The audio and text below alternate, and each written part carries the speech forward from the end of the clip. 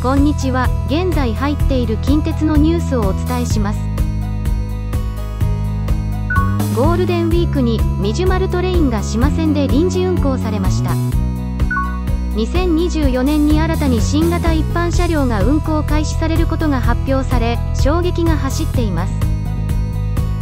2022年のゴールデンウィークに三重応援ポケモンのみじゅまるをデザインしたラッピング列車。みじゅまるトレインを4月29日から5月8日までの土日祝日に鳥羽駅から賢島駅間で臨時列車として運行されました。